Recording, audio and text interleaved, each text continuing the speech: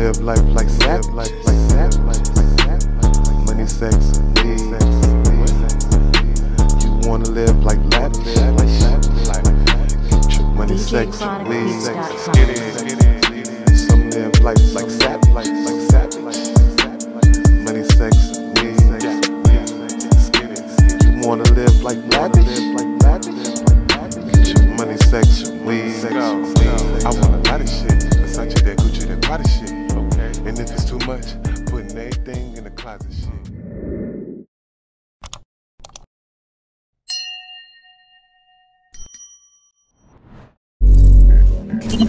TV, y'all already know who y'all rocking with. It's me, King Infamis.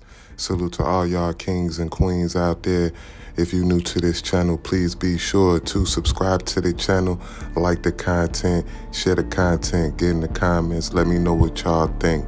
Salute. So y'all see the title on this one.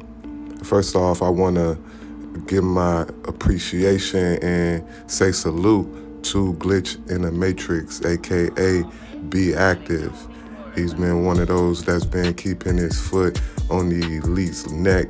Like basically on his platform, he exposing everything from battle rappers to the LGBT2K to the industry to the government, you name it. He's been doing a very good job, in my opinion, and a lot of people should definitely go subscribe to his channel. As y'all see right there, Infinite Power. Hey man, can't do nothing but respect a man that has infinite power. You know, a man that has discernment. I believe to be myself to have discernment as well.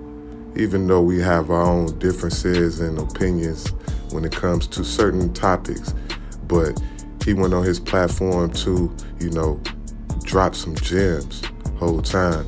He exposed Kamala Harris, you know, Joe Biden, and, you know, Obama for, you know, bringing in this new rainbow, reading rainbow bright type of uh, satanic mission that they that the Democrats brought in, as well as the Republicans as well. We gotta understand that it, it is ain't no it ain't no better evil.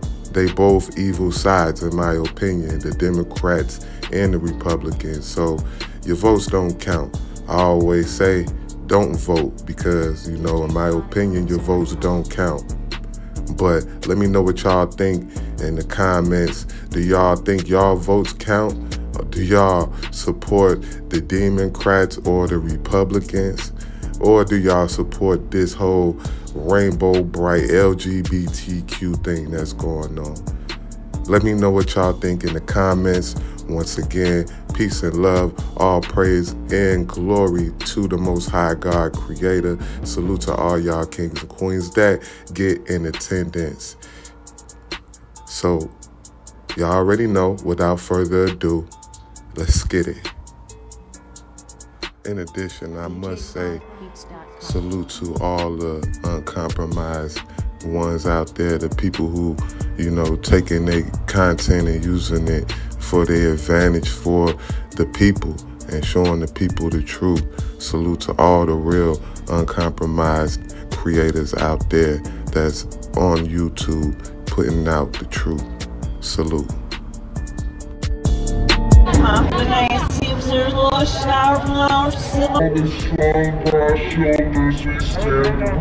celebrate so much that is about the pride that we have because of the progress we have made and because of the diversity and the just the beauty of who we all are. And when I think about the role of San Francisco in this movement,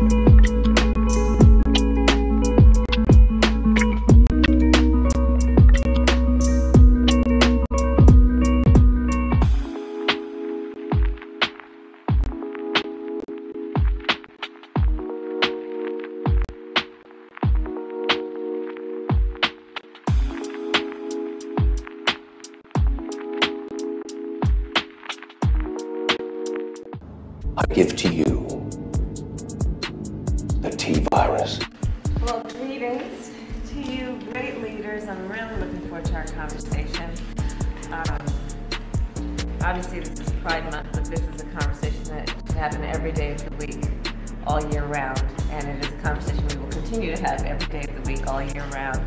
So I want to thank you and welcome you for being here. My pronouns are she and her. Shut up. And Shut um, up. You, Stop. as Move forward. community activists, you know, you all have your eyes and ears on the ground. Uh, as you know, I have been working on the issues of equality, of fairness, justice for a very long time. I am a long-standing ally of the community, and there is still so much work to be done. And so I've asked you to join me at this table in the ceremonial office of the Office of Vice President of the United States, so I can hear from you. And um, this is one of many conversations that we will have. But as we look at this movement, we've come a long way, but there's still so much work to be done. We know that we have the Equality Act that we need to get passed. We know the issue in terms of the the experiences our transgender youth are having around the country. We know, and I can go on and on down the list, that we still don't have full rights when it comes to employment, housing, things of that nature. So there's a lot of work to be done. And um, the president and I are very committed to always standing as uh, allies, but as, as part of this movement. to always standing as our allies, but as, as part of this movement.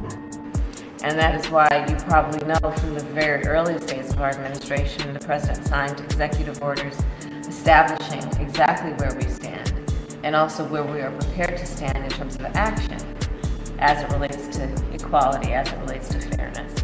So we'll get into the um, specifics, but the work that I've done, I mean, it goes back to when I was um, the district attorney of San Francisco and I established a hate crimes unit and then established in our victim services division a particular subdivision that was focused on LGBTQ um, survivors.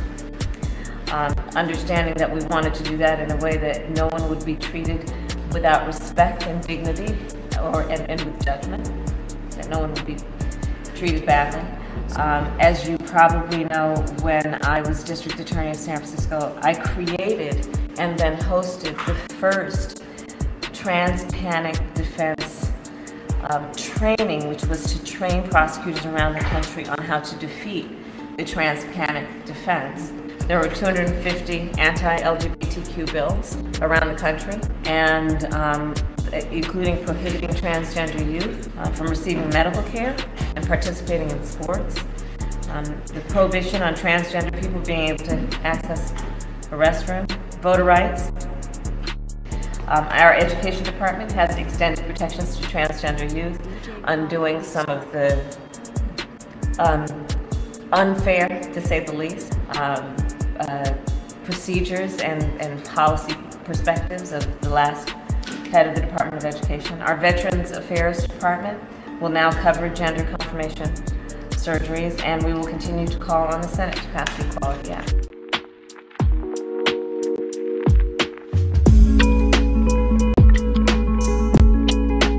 Talk about a constitutional